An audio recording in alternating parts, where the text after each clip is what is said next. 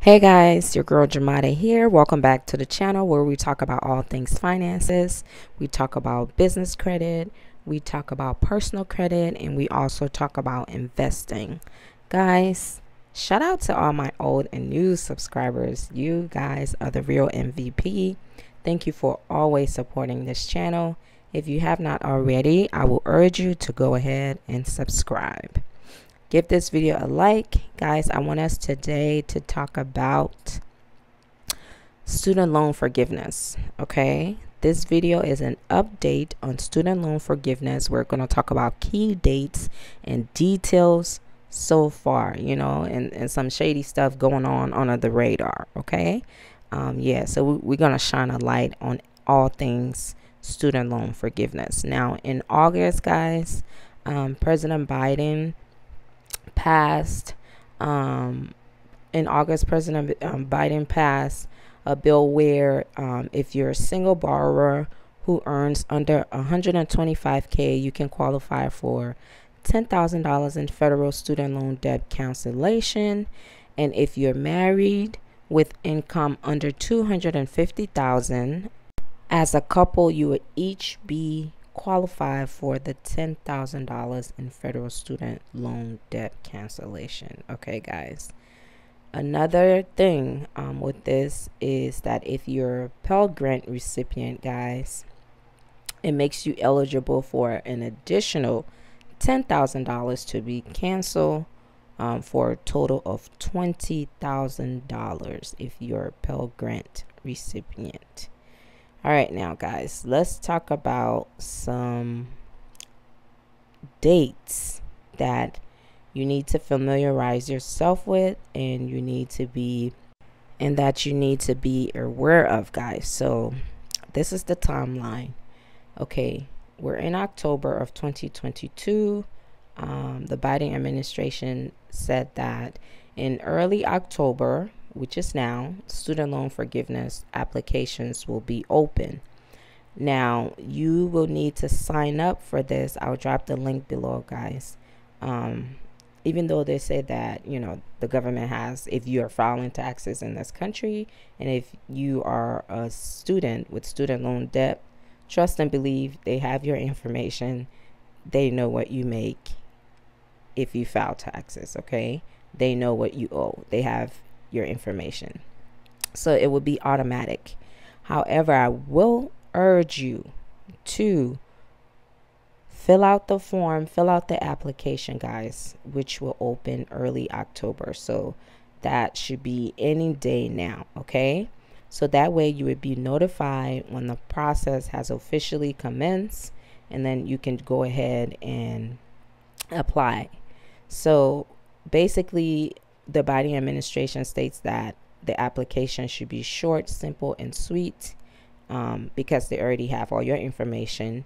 You can just go ahead and apply, fill out the application, and it should be smooth sailing from there. This is for October now. Okay, moving on to November. So, November 15th, guys, they want everyone to apply for student loan forgiveness by November 15th um, so that you can, you know, the process can be smooth and seamless because come December 31st of 2022, this year, guys, okay, um, the payment pause from the pandemic, guys, will expire on that date on December 31st of 2022. And then beginning January, you know, regular payments will resume, okay, with interest rates accruing. So, that's what it's best to go ahead and fill out the application, get it out of the way before November 15th so that, you know, they can forgive the 10,000 or 20,000 for some people that might, you know, help a lot. So go ahead and do it, get it out of the way before November 15th because you don't want that student loan to resume uh, in January of 2023 you know, and it starts to accrue all that interest. You don't want that. So if you can get some of that money um, cancel, guys, please go ahead and do it. Okay. So now the Department of Education expects that this process, this student loan forgiveness process, should take about four to six weeks turnaround for forgiveness. That's why they're urging everyone to apply, okay, by November 15th. That's why the urgency because um, come January 1st, your student loans is going to resume. Regular student loan payments will resume, okay?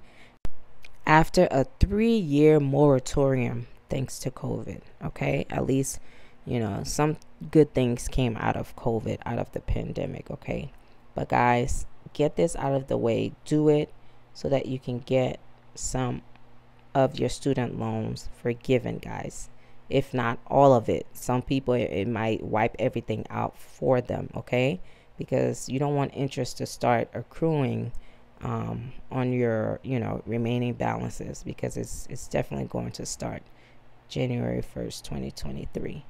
Um, so the final deadline to get your student loan forgiveness and to get this money guys is December 31st of 2023 so the Biden administration is giving us an entire year to do this and get it out of the way.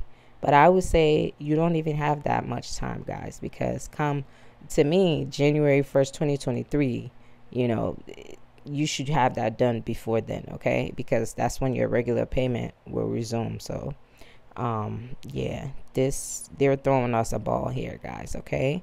So catch it and run with it and and you know get it to the goal okay? So this is great guys.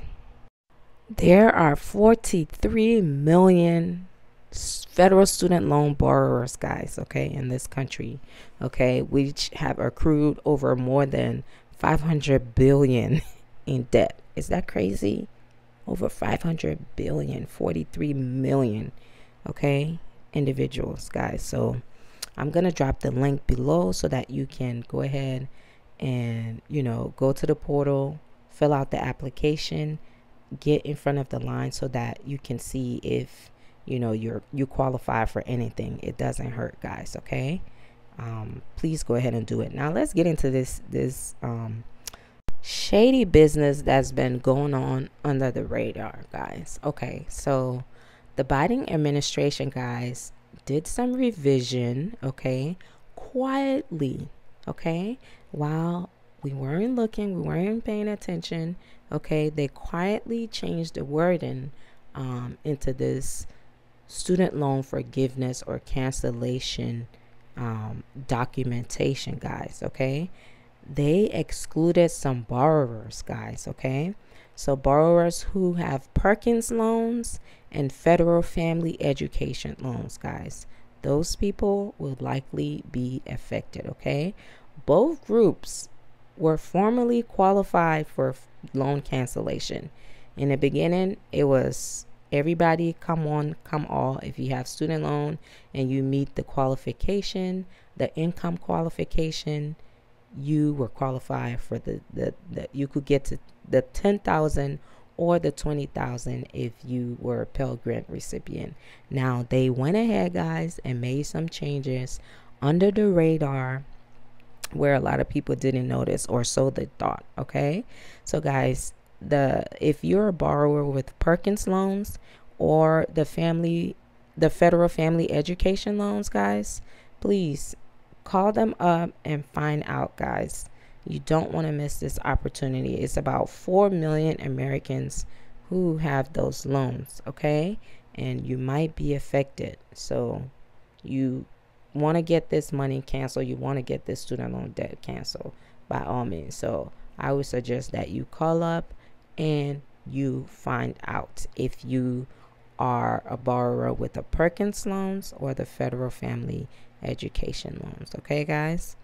So let's do a little recap because this is important stuff here. October, early October, the application would open. Okay, by November 15th, you want to make sure that you have filled out that application, guys. Okay, December 31st of 2022, guys. Okay, your regular payments will resume.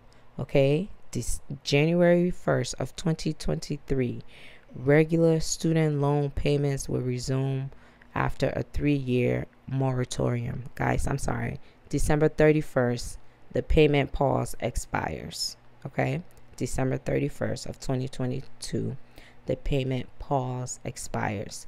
January 1st of 2023, your regular student loan payments will resume and it will start accruing interest rates interest right away okay by December 31st of 2023 that's the final deadline to apply for student loan forgiveness I will say that again December 31st of 2023 is the final deadline to apply for student loan forgiveness okay I just wanted to share this with the community, guys. Um, if you can get any debt erased, that's a plus, okay? That's a plus. That's a plus because that frees up your money to do other things, to invest, to, you know, build wealth, to start your new business, or, you know, you can put it into marketing. Guys, you can acquire real estate, whatever. The possibilities is endless. So if you can get any debt cancel or forgiven, guys. Take advantage of it, okay? But I'm not your financial advisor.